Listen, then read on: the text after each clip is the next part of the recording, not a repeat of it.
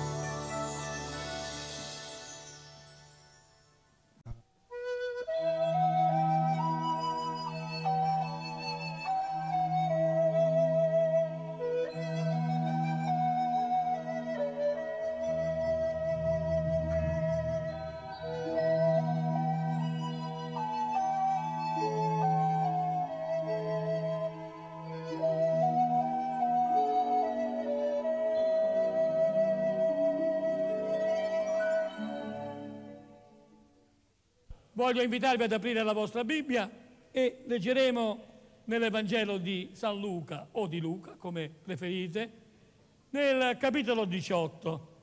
Il Signore poneva davanti a me appunto un passaggio biblico molto noto. Capitolo 18, leggeremo pochi versi, dal verso 35 al verso 43. Ripeto, Evangelo di Luca o San Luca, capitolo 18, dal verso 35 al verso 43. E come di consueto a Dio appartiene tutto l'onore, tutta la nostra ubbidienza, tutta la gloria. Noi rispondiamo insieme, Amen. Ora, mentre egli si avvicinava a Gerico, un cieco era seduto lungo la strada mendicando. Sentendo passare la folla, domandò che cosa fosse. Gli risposero che stava passando Gesù il Nazareno. Allora egli gridò dicendo, Gesù, figliuol di Davide, abbi pietà di me. Quelli che camminavano davanti lo sgridavano perché tacesse, ma lui gridava ancora più forte, figlio di Davide, abbi pietà di me. Allora Gesù, fermatosi, ordinò che gli fosse condotto e quando gli fu vicino lo interrogò dicendo, cosa vuoi che io ti faccia? Ed egli disse, Signore, che io recuperi la vista. E Gesù gli disse, recupera la vista, la tua fede ti ha guarito. All'istante gli recuperò la vista e lo seguiva. glorificando Dio e tutto il popolo, vedendo questo, diede lode a Dio. E fin qui la parola del Signore. Ho detto, è un passaggio biblico molto noto, è vero, questo cieco di Gerico, troviamo un uh, riferimento anche nel Vangelo di Matteo, ma ne parla di due ciechi, ma è, il passo in numero non ha importanza, è importanza la sostanza del messaggio che c'è nella parola, perché la parola di Dio è spirito e vita. Vogliamo chiarirlo questo? È spirito e vita.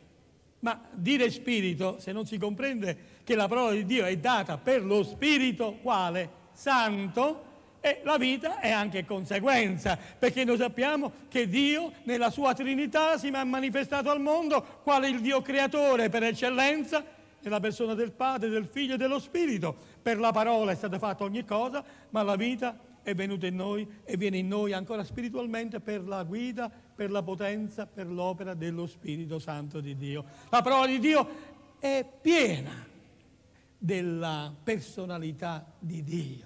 O no? Va bene? Amen? Gloria al Signore. Al di là dell'episodio c'è un messaggio. Al di là dell'episodio c'è un messaggio personale per coloro che lo ricevono, un messaggio che possiamo dire indirizzato individualmente e noi lo diamo collettivamente, ma ognuno lo può fare, lo può fare suo, personale. E qui c'è un messaggio che viene da, da quella che è proprio la mancanza di speranza o quello della speranza umana, quella famosa speranza che il mondo dice che è l'ultima a morire, quella speranza che il mondo dice che è vana. Ma la speranza nel Signore Gesù, la speranza in Dio, non è qualcosa di evanescente. La speranza, quando è spirituale, è collegata alla fede. E la fede non è umana. Lo sapete, vero? Molti confondono questo sentimento. La fede, ho fede, ma eh, fede eh, in realtà lo si conosce soltanto se si conosce la parola di Dio, perché la fede viene confusa con la fiducia. Eh? Molte volte anche con l'ideale, si fede anche in un partito politico. No, è una parola che viene usata, ma viene usata a sproposito, perché la fede è dichiarata dono di Dio e la fede viene dall'udire la parola di Dio, lo troviamo scritto. Vogliamo dare gloria al nome del Signore. Ed ecco che Gesù nel suo ministero terreno, come abbiamo letto, egli viaggiava e viaggiava per quelle che erano le terre della Palestina, vero? E Gerico è un'antica città. Chi non ricorda Gerico? Io credo anche attraverso dei filmati televisivi o mandati in televisione si, eh, si, si ricorderanno delle mura di Gerico, si ricorderà della conquista del paese di Canaan quindi di tutta la terra della Palestina da parte miracolosa, possiamo dire, da parte del popolo di Israele. Chi non ricorda il condottiero Giosuè che è collegato in maniera molto, ma molto stretta all'avvenimento, alla città di Gerico questa città che aveva eh, le, le mura fortificate, che nessuno poteva violare, assolutamente, erano inviolabili. E noi sappiamo attraverso la storia del popolo di Israele, lo troviamo nell'Antico Testamento, vero? Ricordiamo che bastò circuire, secondo l'ordine di Dio, sette volte questo esercito che circuì ancora, ancora queste mura e poi allo squillar di certe trombe successe una cosa particolare. Le mura caddero, ma come caddero? Forse molti in particolare non l'hanno mai eh, messo a, a, punto. Non caddero le mura come può cadere in un terremoto che si sgretolano. Furono inghiottite addirittura dal suolo, la terra si aprì e le mura caddero tutto di un colpo e questo non poteva essere un fenomeno sismico, non poteva essere un fenomeno previsto, questo era un fenomeno diverso perché quelle mura caddero per la potenza di Dio, dell'Iddio di Israele che è l'Iddio di tutti i cristiani. Gloria al Signore. Amen. Gloria a Dio. Vedete Gerico è ancora una città che viene frequentata da molti pellegrini. Molti vanno in terra di Israele, vanno in pellegrinaggio si suol dire. Io posso dirvi, ci sono stato anch'io una sola volta. Non ci vado in pellegrinaggio, non cerco il Signore, non ho cercato il Signore in Israele. Il Signore Gesù è nel mio cuore, nel vostro cuore. Egli continua a ripetere, io sono alla porta del vostro cuore e picchio, se tu apri io entrerò da te e cenerò con te. Non bisogna cercare il Signore nei luoghi o sugli alti monti o di qua o di là. Beh, noi stiamo parlando di Gerico, stiamo parlando di un Gesù che era rivestito di carne, era il Gesù vero uomo che è tornato ad essere Gesù vero Dio. Amen. E beh, in quel tempo egli camminava, la gente lo vedeva, lo toccava, la gente vedeva il suo sguardo, la gente udiva le sue parole. Ma perché? Perché Dio si era fatto uomo, ma poi è tornato ad essere, è tornato ad essere la sua qualità di Dio ed egli è il Signore dei Signori, è il Re dei Re. È vero? È la parola rivelata. Quante espressioni abbiamo del Signore? È la stella del mattino, molti non lo sanno, che Gesù è la rosa di Sharon, la stella del mattino, attributi che molte volte nella religione si sono deviati, ma queste sono le realtà della parola di Dio controllate. Amen. Gloria al Signore. Ebbene, questa Gerico, questa Gerico, e questa Gerico Gesù entra in questa città. E dove entrava Gesù si faceva sempre un certo numero di persone, si accalcavano tante persone. Per quale ragione? Qual era il motivo? Perché la gente in tutti i tempi ha avuto sempre tante malattie. La malattia è una conseguenza del peccato e della trasgressione dell'uomo di Adamo praticamente, no? Quindi le malattie sono subentrate dopo la trasgressione di Adamo e i malati se ne sono stati sempre tanti, gli ospedali sempre pochi e a quei tempi poi specialmente. Eh, quale medicina c'era? C'era una forma di medicina, c'era, non c'erano gli ospedali, non c'erano neanche le assistenze, non c'erano le pensioni, non c'erano le invalidità, non c'erano le vere invalidità, le false invalidità, non ce n'era proprio niente di tutto questo. C'erano anche i ciechi e c'erano i malati, c'erano i zoppi, c'erano coloro che non potevano eh, sbarcare il lunario, c'erano coloro che non avevano altra speranza che mendicare, che ancora stendere la mano e poter chiedere un picciolo, una monetina per cercare di mettere qualcosa nello stomaco. Ed ecco che Gesù dove andava correvano tanti, perché? Perché molti venivano guariti. Noi crediamo alla guarigione divina, la crediamo anche oggi. Ah sì, come no, in Marco 16 c'è scritto questi sono i segni che accompagneranno coloro che hanno creduto. E guardate bene, dice cacceranno i demoni nel mio nome, metteranno le mani sopra gli infermi ed essi guariranno, essi saranno bene. Credete anche voi in questo? Lo crediamo? Io spero che lo credano anche i nostri amici. Ma dobbiamo dire qualche cosa di più, perché al di là della guarigione di un corpo c'è una realtà molto grande che molti eh, ne hanno, l'hanno compresa l'importanza, ma sono ancora molti di più quelli che molte volte non ne hanno data la giusta importanza. E io capisco, un mal di schiena è un mal di schiena, un mal nella gamba è un male nella gamba, un dolore eh, lancinante alla testa è un dolore, ci sono dolori che tante volte sono insopportabili, vero? E abbiamo tutte queste realtà e chi sta male vuole stare bene, chi, vuole, chi si sente male vuole che il dolore passi, chi vuole sentire in, in forma fisicamente, vero? È un benessere, il benessere è per tutti quanti, tutti vogliono stare bene, vero o no? Vogliamo tutti stare bene. Vogliamo che il nostro edificio esteriore eh, sia ben piazzato, vero? Che possiamo avere tutte le cose in regola, tutte le cose a norma, che ogni cosa sia al posto giusto, che possiamo sentirci nella piena funzionalità di ogni singolo membro del nostro corpo. Però vi dico una cosa, fratelli miei, amici, eh, amici cari, soprattutto agli amici, alle amiche. Molti non hanno considerato che al di là di tutte le infermità, le malattie, che pure la scienza medica cerca di qualche modo di, di guarire, fra virgolette. Personalmente io so che la scienza medica, quella vera, e anche quella è un dono di Dio, ma la guarigione viene sempre dall'Eterno. È il mio pensiero biblico, vero? La guarigione è sempre un bravo medico quando tutto è riuscito, un, ah, è stato veramente una mano d'oro. Però quando va male quella mano non diventa più d'oro, diventa una mano di piombo perché anche i medici seri, quelli che hanno un cuore e quelli che comprendono l'importanza della vera fede in Dio, sono quelli che sperano nel Signore. Signore, benedici questa categoria di medici. Alleluia!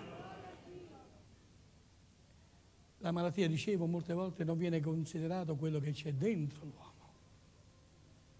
Se il corpo si ammala tante volte, dico tante volte, non ho detto sempre, ci sono conseguenze di carattere spirituale.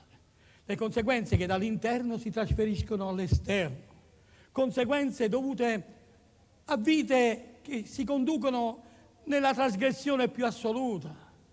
O molti credono di poterne fare del proprio corpo quello che il Padre piace, soprattutto quando sentono che il corpo risponde come una macchina che sa rispondere ai vari comandi.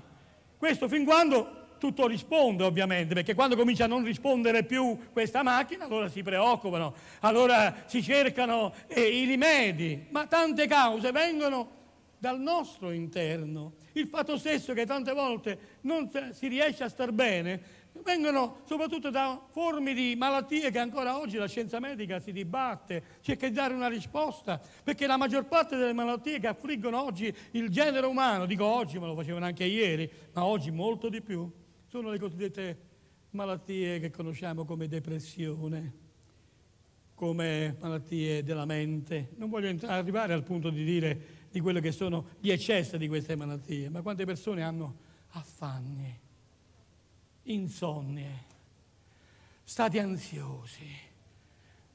Pare che deve succedere sempre qualcosa. Hanno sempre qualche cosa che non funziona, c'è sempre una preoccupazione, una paura. Ebbene, Cosa c'è da fare davanti a queste cose? Beh, c'è da fare, lo vediamo in, meditando, appunto, continuando a meditare il passaggio biblico che abbiamo appena letto e stiamo cercando di spiegare.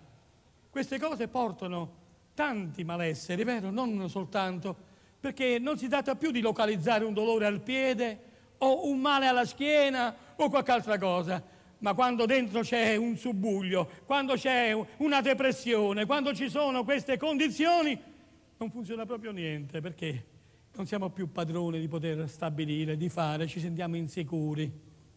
C'è una risposta anche per questo, gloria al nome del Signore. Chissà proprio che in questo momento il Signore possa mostrare ancora una volta che Egli è vivente, che Egli è potente. Alleluia! Torniamo al nostro Gerico, abbiamo lasciato per un poco. Riprendiamo la nostra cittadina di Gerico. Dicevo, ci sono stato proprio quel giorno a Gerico, non si entrava. Non ho visto la città di Gerico, ma questo mi dispiace da una parte, ma d'altra parte che cosa c'è da vedere? Appunto in questi pellegrinaggi troviamo praticamente quei luoghi e molte volte sono stati coperti da altre costruzioni, per cui si vedrà, è interessante. Ripeto, un viaggio biblico non è sbagliato, ma in questo momento quello che mi interessa è che ricordare a voi e a me quello che successe a Gerico in quel giorno. Tanta gente seguiva Gesù, la folla e tutti quanti erano lì e questo cieco che era in un luogo non meglio specificato di questa cittadina, forse stava all'angolo di una strada, forse stava vicino a una piazza, si trovava in un luogo, non è ben identificato, non c'è il numero della strada, il numero del portone o la via della, che era in quel momento ma sicuramente era la via principale di Gerico. Non ce n'erano poi tante vie a quel tempo. E in quella via questo cieco sente parlare. Sente parlare. Cosa sente parlare? Cosa ode? Sode un, un brusio, un framestio, vero? Comincia a sentire, ve lo immaginate la scena, non è tanto difficile, vero? E non è tanto lontana neanche da quelle che sono le nostre realtà. Eh, parlavano di Gesù e sentivo che lui era cieco ma aveva gli orecchi che erano buoni gli orecchi funzionavano, forse funzionavano meglio di, di me di qualche altro oggi in cui i rumori ce l'hanno rovinati, almeno quelli i rumori non ce n'erano. Gli occhi non li aveva, aveva un buon udito e nell'udire comincia a sentire, avrà sentito sicuramente una conclusione a cui possiamo arrivarci in maniera molto semplice. Ha sentito chi era questo Gesù? Oh, Gesù, ah, quello ha guarito quello, oh, quello ha fatto quest'altro, il paralitico che si è alzato e, e tutti questi miracoli. E questo cieco ha cominciato a coltivare nel suo cuore. Ha cominciato ad avere speranza. Signore, dona la tua speranza a quelle che non ce l'hanno. È la preghiera del nostro cuore, vero? Cominciò ad alimentare una fiammella nel suo cuore che man mano sicuramente cresceva, cresceva, cresceva ma avete notato, non è che c'è un riferimento che lui abbia parlato con altri, abbia chiesto dei consigli agli altri, no, no, non ha chiesto niente a nessuno, era lì, ascoltava, lui ascoltava, ascoltava e dopo aver ascoltato ha sentito improvvisamente, indubbiamente la gente che diceva eccolo, sta arrivando, sta passando, chi è? Gesù, Gesù di Nazareth, quello che fa i miracoli. E in quel momento questo cieco ha detto questo è il mio momento non poteva vederlo, non poteva muoversi, non poteva andare, ma una cosa poteva fare, ha cominciato a gridare, a gridare a gran voce, Gesù, figliuol di Davide, abbi pietà di me, gridava, gridava, gridava. Sappiamo in altri frangenti, in altri riferimenti biblici, questo gridare tante volte ha dato disturbo a quelli vicini che vogliono osservare, vedere, quelli che ci vedevano, quelli che stavano bene, quelli che non avevano grandi bisogni. E sapete come si disturbano sempre quelle persone lì? Quelle sono abituate a essere nella loro posizione di tranquillità, la loro posizione di affacciarsi alla finestra, di guardare, di osservare, di giudicare. E Gesù non è venuto per queste persone. Gesù ebbe a dire in un'altra occasione, io sono venuto per coloro che sono e si ritengono perduti, io sono venuto per le pecore perdute della casa di Israele e io sono venuto perché per portare luce alle genti. Amen come l'ha portato alla luce. Ecco, in questo momento stiamo predicando la sua parola, stiamo ancora raccontando una delle esperienze gloriose durante questo ministero terreno. Certamente non sono scritti tutti quanti gli episodi e i miracoli di Gesù in quello che è il Vangelo o i Vangeli o i quattro Vangeli. Ma una cosa è certa, io credo che il messaggio che c'è è proprio a guardare la condizione innanzitutto del cieco, quel cieco oggi ancora, a distanza di tanti secoli, dà una grande lezione all'umanità che cerca Dio. È un grande teologo questo cieco, ci avete mai pensato? È un grande teologo, sapete perché? Perché insegna a quelli che credono di saperla e di saperla tutta come si cerca Dio perché lui si è umiliato, lui si è riconosciuto che era un cieco, non ha chiesto l'aiuto a nessuno, non ha cercato qualcuno che lo guidasse, ma ha sentito una forza nel suo cuore e questa forza gli è venuta perché ha ascoltato. Invece di parlare prima, prima ha ascoltato. A chi ha ascoltato? Ha ascoltato tutti quelli che stavano intorno, che parlavano chi era questo Gesù. E ha maturato nel suo cuore una fede potente. Alleluia! La fede che viene dall'alto. E poi ha gridato. Che bella lezione. È una bella lezione.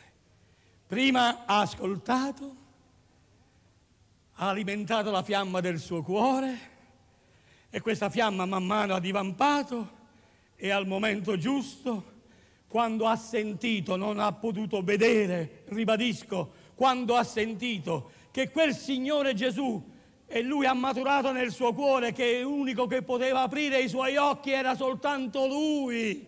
Alleluia!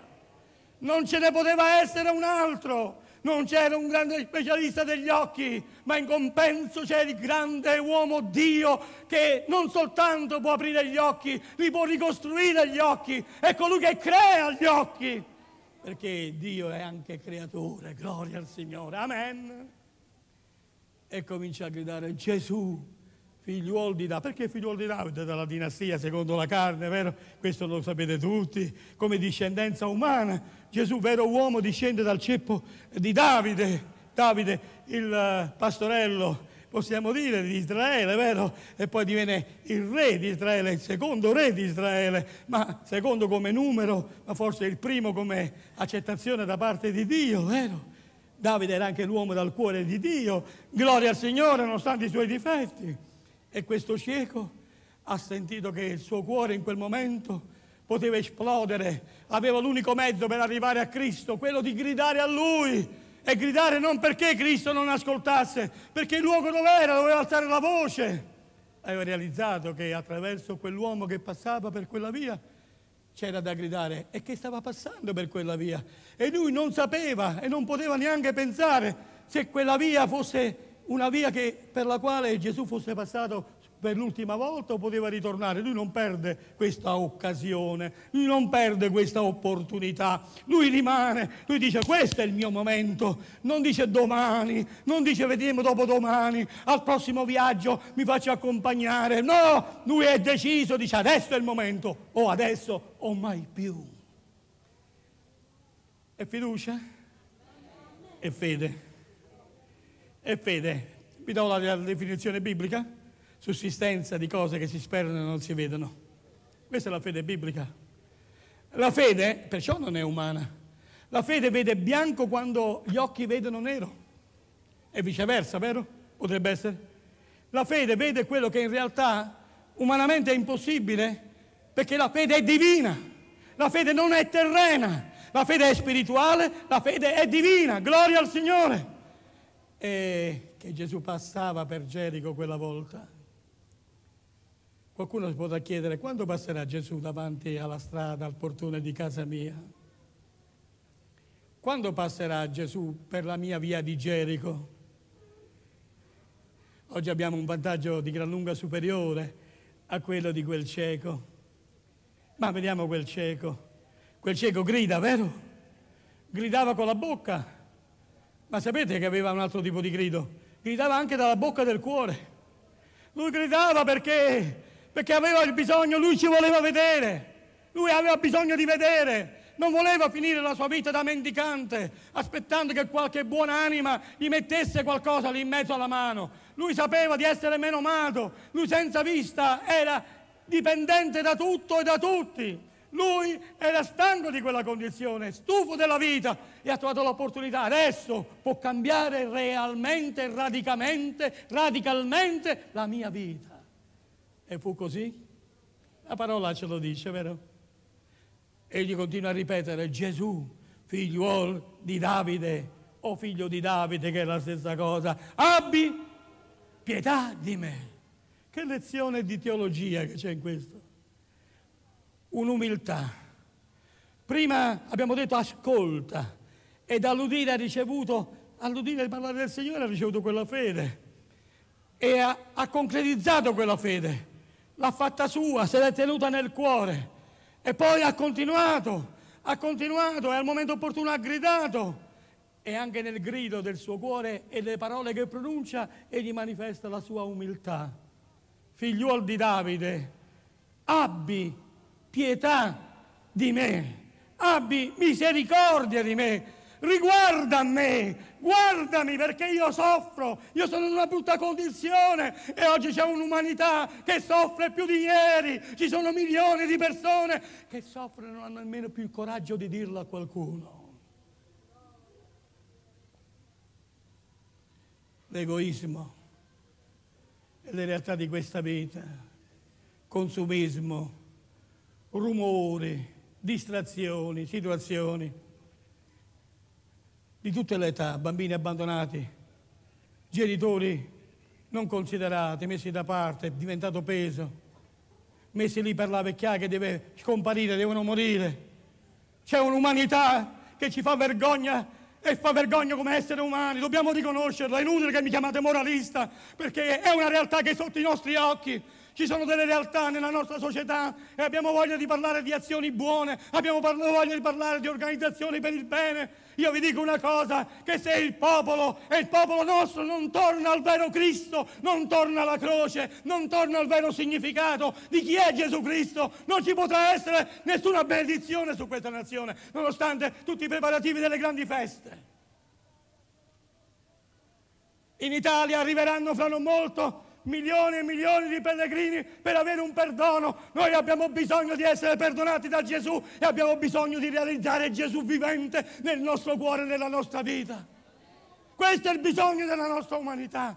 Questo è il bisogno della nostra società, non più attaccarci al volto di Cristo o attaccarci alla croce lì appesa, ma un Gesù vivente che alimenta la fede sincera, concreta, divina del nostro cuore e ci fa gridare, Signor Gesù, abbi pietà. Abbi pietà per il nostro popolo, abbi pietà per la mia vita, abbi pietà per l'umanità. Gloria al nome del Signore, questa è la realtà. La ricevete, la ricevete, non la ricevete, non la ricevete. Io credo che ogni cristiano sente questa ferita nel cuore. E se noi possiamo soffrirne, Dio ne soffre più di noi. Dio non ha creato l'uomo per questo. Nei piani di Dio non c'è stato questo. L'uomo non è stato creato per soffrire o per far soffrire, non è stato creato per morire è stata purtroppo una conseguenza del genere umano. Vogliamo dare la colpa ad Adamo? Ma io credo che se Adamo si chiamava Remo faceva la stessa cosa. Possiamo colpevolizzare Adamo, dobbiamo colpevolizzare la carnalità e poi l'inganno, l'inganno delle tenebre, perché voi sapete, se non c'è salvezza per coloro che sono stati gli angeli decaduti, è solo per una ragione, che non sono stati tentati, hanno fatto loro la loro scelta. Ma dobbiamo dire che la donna è stata sedotta e Adamo, o meglio, la donna ha avuto più che tentazione. E nella seduzione della donna è caduto l'uomo, il genere umano. Per il primo Adamo è venuta la morte nel mondo. È vero? È venuta? E io posso dirvi con gioia, e lo possiamo dire insieme, per il secondo Adamo, per Gesù Cristo, è tornata la vita, è la vita eterna. Io un giorno so che c'è una vita eterna. Non so chi me lo chiedeva pochi giorni fa, pare in ospedale, incontrammo una persona, mi diceva, ma voi credete che dopo questa vita ci sarà una vita eterna? Come non lo credo? No, io credo solo questo. Non è che lo credo così, io credo solo questo, perché altrimenti non sarei in grado di poter parlare né di un Gesù vivente, non sarei in grado di parlare di un Gesù risposta ad ogni possibile richiesta dell'umanità. Io credo in un Gesù che non è fatto di legno, che un Gesù che non è fatto di gesso, non è fatto neanche di oro e di argento. Io credo in un Gesù che in questo momento per lo Spirito Santo è nel mio cuore e bussa alla porta del cuore di tutti. Gloria a Dio. Questo è il Gesù che noi predichiamo, questo è il Gesù che noi amiamo. Quel Gesù che risponde al cieco, che si ferma. In un passaggio analogo troviamo quella gente che poi prima aveva detto al cieco, ma tu ci disturbi. E un altro cieco, lo stesso cieco. Non siamo nei dettagli, non ha importanza il dettaglio. Non siamo i sezionatori della parola. È vero, no, non sezioniamo niente. È importante il contenuto della parola. Molti per guardare al contenitore perdono il contenuto. Noi vogliamo guardare al contenitore, vero, nel nostro cuore, la parola di Dio. E in certe occasioni noi abbiamo visto che in quel caso la gente cambia improvvisamente quando sentono che Gesù si ferma, ferma tutto e si rivolge e dice dov'è quel cieco? Immediatamente egli ti vuole. Gesù ti vuole. Gesù ti vuole. Beh, è bello questo atteggiamento, vero? Però è ipocrita, perché prima l'avevano sgridato. Non è ipocrita chi invece glielo vuol dire con tutta la gioia. Gesù è vivente. Gesù ti vuole. Gesù vuole operare nella tua vita. Vogliamo dirglielo al vicino di casa, vogliamo dirglielo al collega di ufficio, vogliamo dire all'operaio che lavora con te, glielo vogliamo dire al tassista, glielo vogliamo dire a, a tutti quelli che, che incontriamo. Vogliamo dire, oh, è vero, è antico tutto questo. Ma nell'antichità c'è la veridicità di tutto quello che diciamo, perché il nostro Dio è più antico, o oh no? È l'Eterno, no? L'Eterno è antico, eh? è per ogni età, è per ogni tempo. E questo, Signore, è quello che opera. Ma qualcuno dice, ma io ho bisogno di un miracolo, quello era cieco. Poi alla fine cosa successe? Successe che Gesù disse, cosa vuoi che io ti faccia? Cioè, cosa vuoi da me? Cosa stai chiedendomi? Molti dicono che pregano, pregano, non hanno mai risposte. Sono tanti quelli che pregano, non hanno mai risposte. Beh, forse saremo pochi privilegiati che nelle preghiere abbiamo avuto risposta? Saremo dei privilegiati particolari? Dio fa distinzione della qualità delle persone? Voi pensate così? Bisogna vedere come si chiede a Dio.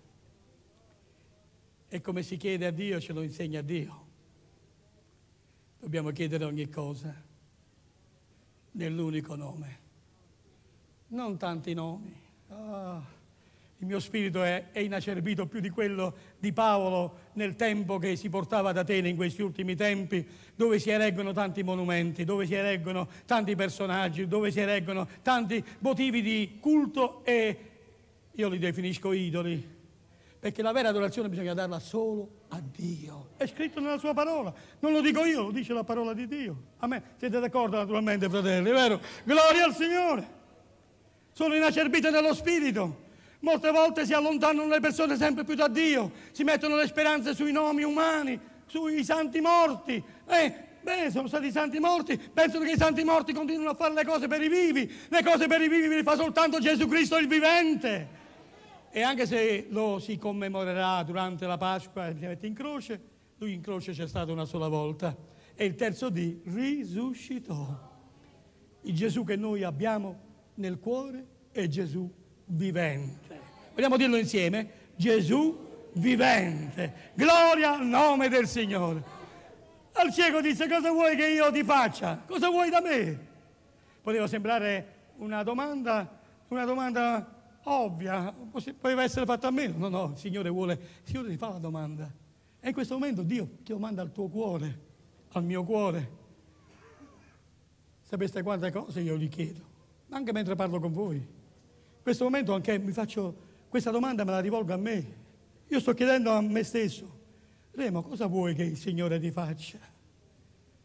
Non sono cieco, no. Ho avuto il privilegio come voi, abbiamo degli occhi, anzi ho avuto come voi un doppio privilegio di avere una buona vista spirituale e una vista materiale. Ho detto prima quella spirituale. E oggi molti non se ne accorgono che possono avere anche una buona vista materiale. Ma a molti manca proprio la vista spirituale, sono quelli che non credono niente, quelli che non credono più, quelli che dicono ormai non credo più in niente, ma che c'è, mi diverto fin quando è possibile, tiro avanti così, tanto non c'è niente. Che salto nel buio, che salto nel buio. Io e voi salteremo nella luce, nella luce di Dio. Quando arriverà, quando arriverà il momento. Non avremo bisogno di Caronte che ci trasporta all'altra sponda nel tetro e buio eh, fiumiciattolo, laghetto sotterraneo. Gesù ebbe a dire al ladrone spenitente sulla croce delle parole che valgono per tutti coloro che hanno accettato, hanno ricevuto, hanno realizzato che Gesù Cristo è vivente. Oggi stesso sarai con me in paradiso. Alleluia al nome del Signore. Amen. E ancora il cieco, cosa vuoi che ti faccia? E il cieco cosa gli poteva rispondere? Cosa vuoi che il Signore fa? Cosa hai bisogno dal Signore? Dal Signore. Se poi poni la tua speranza negli uomini, non lo riceverai, perché il Signore non è può essere sostituito dagli uomini. Gli uomini possono intercedere, i santi uomini, le sante donne di Dio possono intercedere, ma tutti i benefici da chi vengono?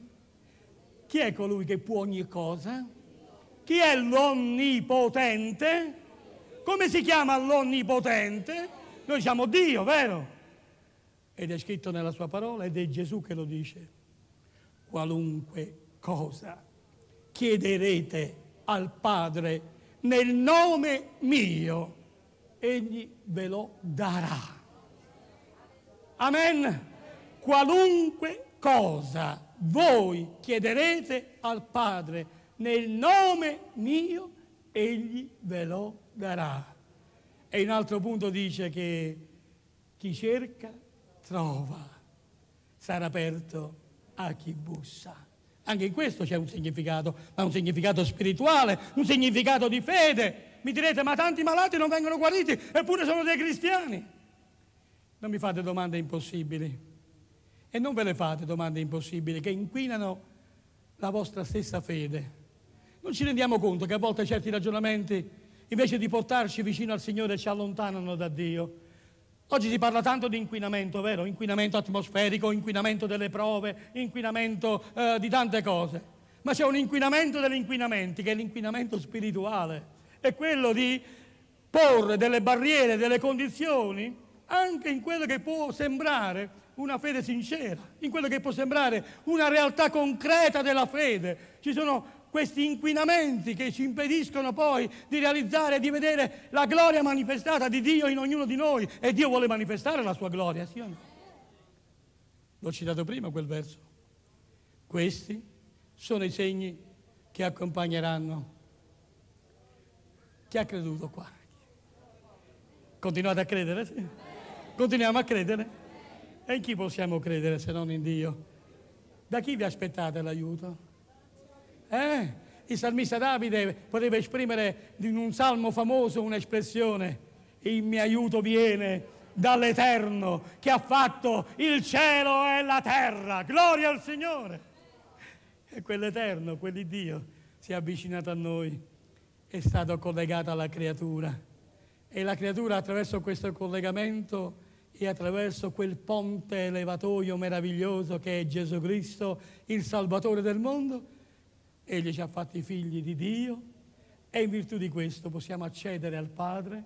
Non abbiamo bisogno di fare lunghe file di raccomandazioni, non abbiamo bisogno di spostarci migliaia di chilometri, non abbiamo bisogno di tutto questo, abbiamo bisogno di fare come quel cieco e gridare con tutto il cuore e gridare prima con la voce del cuore, Gesù, figliuolo di Dio, abbi pietà di me, intervieni in questo momento, tu conosci il mio problema, la mia situazione, la mia infermità, oh, tu conosci ogni cosa, intervieni. Questa è una preghiera? È una preghiera? È una preghiera secondo la volontà di Dio. Sapete che Dio è gioioso di dare le sue cose? Lui non è un padre arido, dittatore e soprattutto egoista, il padre padrone. Lui è il padre buono, il padre provvido, il padre benigno. Lui gode nel dare il suo amore ai figli suoi. Ma la prima cosa devi lasciare il tuo percorso cattivo, devi lasciare la tua via, devi lasciare anche il tuo marciapiede di Gerico. Ho detto bene il marciapiede di Gerico? Su quel marciapiede c'era la nullità, la miseria di un uomo, fra tanti uomini.